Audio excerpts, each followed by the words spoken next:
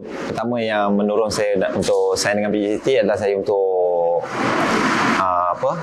Untuk saya cuba cabaran baru.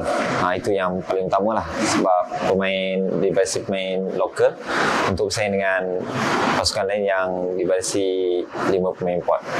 Uh, kalau kita tengok pada tahun lepas, uh, dia orang dah buktikan yang pemain lokal boleh bersaing dengan pasukan lain uh, dengan pemain import.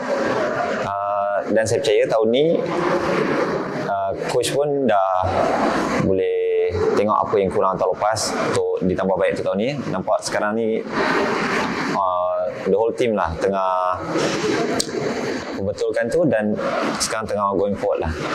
Saya uh, ialah coach pasti akan letak yang terbaik dia akan semestinya dia akan letak player yang terbaik so saya nak atau tak nak saya kena tetap uh, bagi lebih pada orang lain untuk saya ada kat tempat tu Ya kalau tengok pada Yalah PJ City sudah buktikan pada tahun lepas. So tak ada sebab untuk tim lain Untuk percaya pada lokal Lokal kita sendiri Survive dalam liga.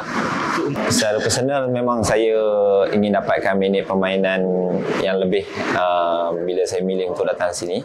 So of course saya kena kerja lebih keras untuk dapatkan tempat dan minit play. Sebab uh, kalau ada rezeki sebab memang saya nak kembali ke national team. Sebab kali terakhir pun 2018 lepas injury tu dah tapi kalau injury bila dah bila dah kita dah operate sekali memang takkan rasalah yang original. Tapi uh, uh, sekarang dah getting better.